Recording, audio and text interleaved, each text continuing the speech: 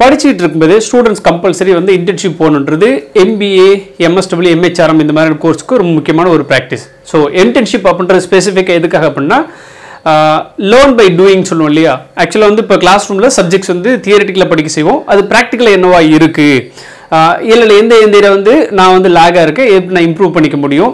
இல்லை ஹெச்ஆர் ஆக்சுவலாக புக்கில் இருக்கிறது என்னவா பண்ணிகிட்டு இருக்காங்க? அதில் என்னென்ன இம்ப்ரூவ்மெண்ட்ஸ்லாம் புதுசாக வந்திருக்கு? ரெண்டுமே டிஸ் டிஃப்ரென்சஸ் அண்டர்ஸ்டாண்ட் பண்ணிக்கிறதுக்காகவும் இல்லை புதுசாக இந்த மாதிரி என்ன வரப்போது ப்ரெடிக்ட் பண்ணி அண்டர்ஸ்டாண்ட் பண்ணிக்கிறதுக்காக ஒரு ஸ்பெசிஃபிக்கான அப்ஜெக்டிவ்ல அனுப்புறது தான் இன்டர்ன்ஷிப் பொறுத்த வரைக்கும். ஸோ இந்த வீடியோவில் இன்டர்ன்ஷிப்பில் என்ன பண்ணணும் என்ன பண்ணக்கூடாது எப்படிலாம் நம்ம வந்து ஆப்டிமமாக யூட்டிலைஸ் பண்ணி கற்றுக்க முடியும் இன்டர்ன்ஷிப் மூலம் அப்படின்றத நாம் இந்த வீடியோவில் பார்க்க போகிறோம் welcome to YouTube channel last bench professor நான் டாக்டர் புஷ்பநாதன் ஆர்வகம் வாங்க வீடியோக்குள்ளே போகலாம்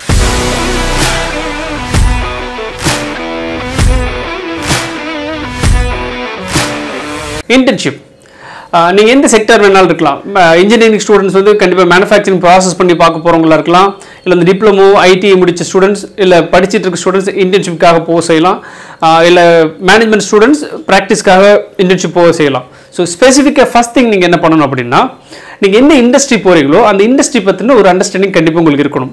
இப்போ ப்ரொடக்ஷன் ப்ராசஸ்க்காக போகிறீங்க அப்படின்னா என்னென்ன ப்ரொடக்ஷன் பண்ணுறாங்க என்ன ப்ராடக்ட் யூஸ் பண்ணுறாங்க யார் அவங்களோட எண்ட் யூசர்ஸ் கஸ்டமர் யாராக இருக்காங்க அதுக்கு எங்கேருந்து ஸ்டார்ட் பண்ணாங்க அந்த கம்பெனி அப்படின்ற ஒரு பேசிக் அண்டர்ஸ்டாண்டிங் கண்டிப்பாக இருக்கணும். அப்படின்னா ஹிஸ்ட்ரி ஆஃப் தி ஆர்கனைசேஷன் கண்டிப்பாக உங்களுக்கு தெரிஞ்சிருக்கணும். ஸோ தட் ஒரு சில பிஹேவியர் வந்து தே தி ஓன் அக்செப்ட் சரிங்களா? சில ப்ராசஸ் வந்து தே நெவர் ரிவீல் அப்படின்னா you can able to understand அந்த ஆர்கனைசேஷன் என்ன மாதிரியான க்ரோத்தில் இருந்திருக்கு என்ன மாதிரியான லைஃப் ஸ்டைலில் இருந்திருக்கு இப்போ என்னவா இருக்காங்கன்றது ஒரு அண்டர்ஸ்டாண்ட் பண்ணிக்கிறதுக்கு ஃபர்ஸ்ட் வந்து அந்த ஆர்கனைசேஷன் பற்றின அண்டர்ஸ்டாண்டிங் உங்களுக்கு ரொம்ப ரொம்ப முக்கியம். ஸ்பெசிஃபிக்காக ஹெச்ஆர் இருக்க ஸ்டூடெண்ட்ஸ் லேட் சிக்ஸ்டி செவன்டிஸில் இருக்கிற ஒரு ஆர்கனைசேஷன் தான். ட்ரெடிஷ்னல் ஆர்கனைசேஷனாக இருந்தாங்க அப்படின்னா இப்போ மாடர்னைசேஷன் ஆனதுக்கப்புறம் லைஃப் ஸ்டைல் என்ன மாறி இருக்காங்க அப்படின்னு சொல்லி அண்டர்ஸ்டாண்ட் பண்ணது மூலமாக நீங்கள் கல்ச்சுரல் ஷாக் டிஃப்ரெண்ட் ஸ்டேஜ்லேருந்து மாற முடியும். ஒரு மேனேஜர் வந்து ஒரு ஒரு ஃபிஃப்டி ப்ளஸில் இருக்கவங்களா இருக்கலாம். அவங்க வந்து இப்போ இருக்கிற ஜெனரேஷன் வந்து எப்போவுமே வந்து செல்ஃபோன் யூஸ் பண்ணிகிட்டே இருக்காங்க. இல்லை பசங்க வந்து டிசிப்ளின் இல்லாமல் இருக்கின்ற ஒரு மைண்ட் செட்டில் இருக்கிறவர்கிட்ட போயிட்டு நீங்களும் அதே மாதிரி பிஹேவ் பண்ணால் obviously there is a chances of சரியான லேர்னிங் கிடைக்காம போகிறதுக்கு நிறைய பாசிபிலிட்டிஸ் இருக்குது அப்போ என்ன மாதிரியான ஆர்கனைசேஷன்ன்றது first thing you need learn so history of the organisation நீங்கள் ஃபெமிலியராக இருக்கணும். அடுத்து நீங்கள் யார்கிட்ட ரிப்போர்ட் பண்ணுறீங்க அப்படின்றது ரொம்ப ரொம்ப முக்கியம். ஸோ ரிப்போர்ட்டிங் ஹெச்ஆர் இல்லை ரிப்போர்ட்டிங் பர்சன் அப்படின்றவர் என்ன மாதிரியான ஒர்க் நேச்சரில் இருக்காங்க? சரிங்களா என்ன டெசிக்னேஷனில் இருக்காங்க? அவங்க என்னென்ன ஒர்க் நேச்சர் பண்ணுறாங்க அப்படின்றத நீங்கள் டெய்லியும் பை ஒரு observation you have to do it so மினிமமாக டெய்லியும் அவங்க என்ன மாதிரியான ப்ராசஸ் பண்ணுறாங்க அதை என்ன மாதிரி ப்ரொசீடிங்ஸில் வைக்கிறாங்க results end of the day என்ன மாதிரி ரிசல்ட்ஸ் டெலிவர் பண்ணி வீக்லி ரிசல்ட்ஸ் என்ன கொடுக்குறாங்கன்றது you need to observe so யார் ரிப்போர்ட் பண்ணுறீங்க அதாவது மென்டார் சொல்லுவோம் இல்லையா? மென்டார் மென்டி ஸோ மென்டார் ஒரு ட்ரைனிங் யார் கொடுக்குற? ஒரு மென்டார் நீங்கள் புதுசாக போகிற ஸ்டூடெண்ட்ஸ் இல்லை வந்துட்டு ட்ரெயினியை போகிற நம்ம வந்து என்ன சொல்லுவோம்னா மென்டி சொல்லுவோம். ஸோ மென்டர் மென்டி ரிலேஷன்ஷிப் இருக்கும்போது even after the internship internship முடிஞ்சு ஒரு ஆறு வருஷம் மேபி இயர்ஸ் டுகெதர் பல வருஷங்கள் கழிச்சு கூட அதே மென்டார் வந்து இவர் ரொம்ப சின்சியராக ஒர்க் பண்ணணும்னு சொல்லி ஒரு ஒரு ஒரு நல்ல ஒரு ஒப்பீனியன் இருக்கும்போது ஜாப் ஆப்பர்ச்சுனிட்டிஸோ இல்லை ரெஃபரன்ஸோ கிடைக்கிறது ரொம்ப பெரிய பாசிபிலிட்டிஸ் இருக்கும் second thing you need to build a good rapport with the mentors third நீங்கள் என்ன அப்ஜெக்டிவ் போகிறீங்க அப்படின்றது இன்ஸ்டிடியூஷன் பொறுத்த வரைக்கும் உங்களை பொறுத்த வரைக்கும் டிஃபைன் பண்ணி இருக்கணும். சே ஃபார் எக்ஸாம்பிள் சில இன்ஸ்டிடியூஷன் பொறுத்த வரைக்கும் they will send for a Uh, block placements அப்படின்னு சொல்லி பிளாக் பிளேஸ்மெண்ட்டை கம்பல்சரி தேர்ட்டி டேஸ் ரெகுலராக போஸ்ட் செய்வாங்க. இன்க்ளூடிங் சாட்டர்டேஸ் அண்ட் சண்டேஸ் இல்லை வந்து கம்பெனி எப்படி ஒர்க் பண்ணுறோம் அந்த அந்த பேசிஸ்லேயே போஸ்ட் செய்வாங்க. சில இது வந்து வீக் டேஸில் மட்டும் போக செய்வாங்க. தேர்ஸ்டே ஃப்ரைடே இந்த மாதிரி வாரத்தில் ஒரு ரெண்டு நாள் மட்டும் இண்டஸ்ட்ரி போயிட்டு திரும்ப வந்துடுவாங்க அப்படின்னா they will work and they will also come to the classroom so இது வந்து ஒரு விஷயம். ஸோ இதில் என்ன அப்ஜெக்டிவாக உங்களை அனுப்புகிறாங்க நீங்கள் ஹெச்ஆர் ரிலேட்டட் போறீங்க அப்படின்னா ஹெச்ஆர் ஃபங்க்ஷன்ஸ் என்ன இருக்குது ஸ்பெசிஃபிக்காக காமனாக ஒரு ஹெச்ஆர் ஃபங்க்ஷன்ஸ் என்னன்னு சொல்லி நமக்கு தெரிய செய்யும். சப்போஸ் உங்களுக்கு வந்து ஹெச்ஆர் ஃபங்க்ஷன்ஸ் சொல்லி டிஃபைன் பண்ணல அப்படின்னா ஏற்கனவே அதை பற்றின வீடியோஸ் போட்டிருக்கோம். அதை பற்றின லிங்க்கும் டிஸ்கிரிப்ஷன் கொடுத்துருக்கோம். நீங்கள் அதை கூட ஒரு முறை பாருங்கள் ஸோ ஹெச்ஆர் ஃபங்க்ஷன்ஸ் என்னென்ன இருக்குன்றது உங்களுக்கு காமன் ஒரு அண்டர்ஸ்டாண்டிங் இருக்கும். இண்டஸ்ட்ரியில் என்ன இருக்குது அப்படின்றத டே பை டே பேசிஸில் நோட்ஸ் எடுக்க செய்யணும். டே பை டே பேசிஸ்னா சார் எந்த ஒர்க்குமே கொடுக்க மாட்டாங்க. சும்மா உட்காரதான் வச்சுருப்பாங்க அப்படின்னா ஆஃப்கோர்ஸ் உட்காரதான் வச்சுருப்பாங்க. அந்த உட்காந்துட்டு இருக்கும்போதும் பை லிசனிங் சரிங்களா? இப்போ செக்யூரிட்டி ஆஃபீஸில் இருக்கீங்க அப்படின்னா செக்யூரிட்டியில் டெய்லி வந்து எவ்வளோ பேர் என்ட்ரி கொடுக்குறாங்க? என்ன டைமிங்கில் வர்றாங்க? என்ன டைமிங்கில் போகிறாங்க லீவ் கார்ட் சிஸ்டம் என்ன மாதிரி ஃபாலோ பண்ணுறாங்க சேலரி என்னவா கொடுக்குறாங்க? ஒரு எம்ப்ளாய்க்கு கிரீவன்ஸஸ் சொன்னாங்கன்னா அதை எப்படி ஹேண்டில் பண்ணுறாங்க அப்படின்றத day by day process observe பண்ணுறது மூலமாக என்டையர் ஆர்கனைசேஷன் ஃபங்க்ஷன் வந்து we can able to understand ரொம்ப ரொம்ப முக்கியமானது. Day by day basis programme இதுக்கு அடுத்து ஒரு எம்ப்ளாயோட பர்சனல் ஃபைல் மட்டும் எடுத்தாலே போதும். ஒரு ஒரு ஆர்கனைசேஷனோட ஒட்டுமொத்த ஃபங்க்ஷன்ஸ் ஒட்டுமொத்த லைஃப் ஸ்டைல் புரிஞ்சுக்க முடியும். ரொம்ப ரொம்ப முக்கியமானது.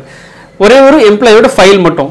ஏன் அப்படி சொல்கிறேன் அப்படின்னா ஒவ்வொரு எம்ப்ளாயி ஃபைல்லையும் ஜாயினிங் கிட் அப்படின்னு சொல்லி வைப்பாங்க. ஜாயின் கிட்ன்றது என்னென்ன இருக்குன்னு பார்த்தீங்க அப்படின்னா ஆஃபர் லெட்டர்ஸ் அப்பாயின்மெண்ட் ஆர்டர் இது எல்லாத்தையும் தாண்டி டிசிப்ளின் ஆக்ஷன் எடுத்திருந்தாங்க அப்படின்னா அதை பற்றின ஷோகாஸ் நோட்டு அதை பற்றின காப்பி வச்சுருப்பாங்க. இன்க்ரிமெண்ட் கொடுத்தாங்கன்னா அதை பற்றின ஒரு காப்பி வச்சுருப்பாங்க. சப்போஸ் ஒரு எம்ப்ளாயி வந்து மெட்டர்னிட்டி லீவில் போயிருந்தாங்க. விமன் ஒர்க்கர் மெட்டர்னிட்டி லீவில் போயிருக்காங்க. இல்லை வந்து ஆக்சிடென்ட் நடந்துச்சு ஒரு எம்ப்ளாய்க்கு அதுக்கான லெட்டர்ஸ் கொடுத்துருந்தாங்க அப்படின்னா இது எல்லா டாக்குமெண்டேஷன் இதில் வச்சிருப்பாங்க. அப்படின்னா பர்சனல் ஃபைலில் இருக்கும். ஸோ ஒரு எம்ப்ளாயோட பர்சனல் ஃபைல் சப்போஸ் ஒரு ஆர்கனைசேஷனில் பர்சனல் ஃபைல் அரேஞ்ச் பண்ணுற ஒர்க் மட்டும் தான் கொடுக்குறாங்க. இல்லை வந்து க்ளீன் பண்ணுற ஒர்க் மட்டும் தான் கொடுக்குறாங்க. அப்படின்னா you are so plus because you are able to observe lot of things about the organisation ரொம்ப ரொம்ப முக்கியமானது. ஸோ பர்சனல் ஃபைல் மூலமாக இப்போ ஆஃபர் லெட்டரில் எடுத்தீங்க அப்படின்னா டேட் ஆஃப் ஜாயினிங் கொடுத்து எவ்வளோ டைம் கொடுத்துருக்காங்க? ஜாயின் பண்ணும்போது ஒரு எம்ப்ளாய்க்கு என்ன ஸ்கேல் இருந்திருக்கு? இப்போ வந்து ஒரு டிப்ளமோ கேண்டிடேட்னா எவ்வளோ ஸ்டைஃபன் ஜாயின் பண்ணும்போது ஸ்டைஃபன் எவ்வளோ இருந்துச்சு? ஒரு சிக்ஸ் மந்த்ஸ் முடிச்சதுக்கப்புறம் கன்ஃபார்ம் பண்ணும்போது அவருக்கு எவ்வளோ சேலரி ரிவைஸ் பண்ணாங்க. எந்த பீரியடிக்கலில் அவருக்கு வந்து இன்க்ரிமெண்ட் கொடுத்துருக்காங்க? எந்த பீரியடிக்கல் அவருக்கான வந்து ப்ரொமோஷன்ஸ் கொடுத்துருக்காங்க அப்படின்னு டிஃபரன்ஸ் டிஃபரன்சியேஷன் புரிஞ்சிக்க முடியும். சப்போஸ் டிசிப்ளினரி ஆக்ஷன்ஸ் எடுத்திருந்தாங்க அப்படின்னா எப்பப்போ டிசிப்ளினரி ஆக்ஷன்ஸ் எடுத்திருக்காங்க எந்த மாதிரி விஷயத்துக்கு டிசிப்ளினரி ஆக்ஷன் எடுத்திருக்காங்க அப்படின்றது புரிஞ்சிக்க முடியும். சப்போஸ் அப்ரிசியேஷன் நோட் கொடுத்துருந்தாங்க அப்படின்னா நோட்டீஸ் போர்டில் டிஸ்ப்ளே பண்ணியிருப்பாங்க அதே மாதிரி ஒரு எம்ப்ளாயோட பர்சனல் ஃபைல்னு டிஸ்ப்ளே பண்ணியிருப்பாங்க ஸோ இதை பொறுத்து we can able to understand so இந்த மாதிரியான விஷயங்கள்லாம் வந்து எந்த கிளாஸ் மூலமாக எடுத்திருக்காங்க இந்த ஆக்ட் மூலமாக வந்து டிசிப்ளினரி ஆக்ஷன் எடுத்திருக்காங்கன்னு சொல்லி நம்ம புரிஞ்சுக்க முடியும். இது எல்லாத்தையும் தாண்டி பெர்ஃபார்மன்ஸ் அப்ரைசல் சொல்லுவோம் இல்லையா? So performance appraisal once in year பண்ணுறாங்க இல்லை வந்து த்ரீ சிக்ஸ்டி அப்ரைசல் பண்ணுறாங்க அப்படின்னா ஒவ்வொரு ஹெச்ஆர் டெசிக்னேஷனோ இல்லை வந்து ஒவ்வொரு ப்ரொடக்ஷன் ஏரியா சூப்பர்வைசர்ஸ் இல்லை எம்ப்ளாய் அவரை பற்றின ஒப்பீனியன் என்ன கொடுத்துருக்காங்க அப்படின்ற ஃபைல்ஸ் கம்பல்சரி இருக்கும். ஸோ இதை அப்சர்வ் பண்ணுறது மூலமாக வி கேன் அண்டர்ஸ்டாண்ட் என்ன மாதிரியான பெர்ஃபார்மன்ஸ் மாடல் ஃபாலோ பண்ணுறாங்க அது என்ன எஃபெக்ட் இருந்திருக்கு. இதையும் தாண்டி ட்ரைனிங் அண்ட் டெவலப்மெண்ட் பொறுத்த வரைக்கும் ஒரு எம்ப்ளாயி என்ன ட்ரைனிங் அனுப்பிச்சிருக்காங்க வரும்போது அவரோட ஸ்கில் மேட்ரிக்ஸ் என்னவா இருந்துச்சு ட்ரைனிங்கில் என்னவா இருந்துச்சு அதுக்கப்புறம் க்ரோத் என்ன இருந்துச்சு அப்படின்ற ஒரு ஒரு flow chart we can able to understand so ஃபினான்ஷியலாக பார்த்தோம் அப்படின்னா பே ஸ்லிப் பற்றின மாடலோ இல்லை வந்து ஆஃபர் லெட்டர் கொடுக்க பற்றின ரிவிஷன் பற்றினதோ கண்டிப்பாக இருக்கு செய்யும். ஸோ அடுத்து இந்த லேர்னிங் அப்படின்றது எந்தெந்த பேசிஸ்லாம் இருக்கோ என்னென்ன அவென்யூஸில் இருக்கோ இதன் மூலமாக நம்ம கற்றுக்க முடியும். ரொம்ப முக்கியமானது மென்ட் ஆஸ் அ ரெகுலராக யூ ஹவ் டு அப்ரோச் நீங்கள் வெயிட் பண்ணுங்க அப்படின்னு சொல்லி சொல்லுவாங்க. ஆனால் வெயிட் பண்ணுறது நாள் ஃபுல்லு சும்மா அப்படியே வெயிட் பண்ணிடலாமல் அட்லீஸ்ட் ஒரு நாளைக்கு ஒரு ரெண்டு தடவை மூணு தடவை க்ரீட் பண்ணுறது மூலமாகவோ இல்லை வந்து கிளம்புறதுக்கு முன்னாடி சார் என்னென்ன ஒர்க் இருக்குது நான் என்னென்ன பண்ணணும்? அப்படின்றது மாதிரி இல்லை ஃபீட்பேக் மாதிரி ரெகுலராக you have to ask for இன்டர்ன்ஷிப்பில் என்ன முக்கியமாக பண்ணக்கூடாது அப்படின்னு சொல்லி பார்த்தீங்க அப்படின்னா ரொம்ப முக்கியமானது ஒரு ஆர்கனைசேஷன் என்ன டூஸ் அண்ட் டோன்ட் சொல்கிறாங்களோ அதை ஸ்ட்ரிக்டாக ஃபாலோ பண்ணணும். ஸ்பெசிஃபிக்காக ப்ரொடக்ஷன் ஏரியா போகும்போது செல்ஃபோன் எடுத்து போகக்கூடாது.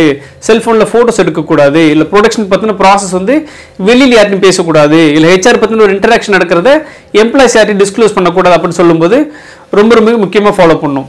நான் ப்ரொஃபஸராக ஒர்க் பண்ணும்போது நான் வந்து ஒரு ஸ்டூடெண்ட்ஸ் இன்டர்ன்ஷிப் காமிச்சிருந்தேன் அந்த ஸ்டூடெண்ட்ஸ் வந்து ரொம்ப ஜோவியலாக இருக்கிற ஒரு நேச்சரான ஒரு பையன். இன்டர்ன்ஷிப் இன்டர்ன்ஷிப் போயிட்டு நல்ல நல்ல ஜோவியில் ஒர்க் பண்ணிருக்காரு. ஸோ ப்ரொடக்ஷன் ஏரியாவில் ஒரு எம்ப்ளாய் வந்து ரொம்ப ப்ராப்ளமேட்டிக்காக இருந்திருக்காரு. ஸோ ப்ரொடக்ஷன் இந்த மாதிரிலாம் இஷ்யூ ஆகிட்டு இருக்குது. ஹெச்ஆர் டிபார்ட்மெண்ட் உட்காந்து பேசிட்டு இருந்திருக்காங்க. என்னென்னா இந்த மாதிரி அந்த எம்ப்ளாய் ரொம்ப ஒரு மாதிரி ரெக்கடாக பிஹேவ் பண்ணுறான் அவன் மேலே ஒரு சார்ஜ் ஷீட் ஃபைல் பண்ண அப்படின்ற மாதிரி ஏதோ சும்மா ஜஸ்ட் லைக் பேசிட்டு இருந்திருக்காங்க. அந்த பையன் ரொம்ப ஜோவியலான பையன் இல்லையா? ப்ரொடக்ஷன் ஏரியா போயிருக்கான். போகும்போது அந்த பர்டிகுலர் எம்ப்ளாய் நின்று இருந்திருக்காரு போகும்போது சும்மா ஜாலியாக ஒன்று பேசிட்டு போயிருக்காங்க அவங்க மேலே சார்ஜ் ஷீட் கொடுக்கறதா இருந்திருக்காங்க பத்திரமா இருந்துருக்கு அப்படின்னு சொல்லிட்டு அந்த பையன் ஜஸ்ட் லைக் ஒரு லூஸ் ஸ்டாக் விட்டார். அது என்ன ஆச்சு அப்படின்னா ட்ரேட் யூனியன் மெம்பர்ஸ் எல்லாம் சேர்ந்துட்டு தே கோ ஃபார் அ கேரோ கேரோ அப்படின்றது கும்பலாக ஹெச்ஆர் முன்னாடி முன்னாடி வந்துட்டு சத்தம் போட ஆரம்பிச்சிட்டாங்க. எப்படி நீங்கள் அவனை வந்து கார்னர் பண்ணலாம்?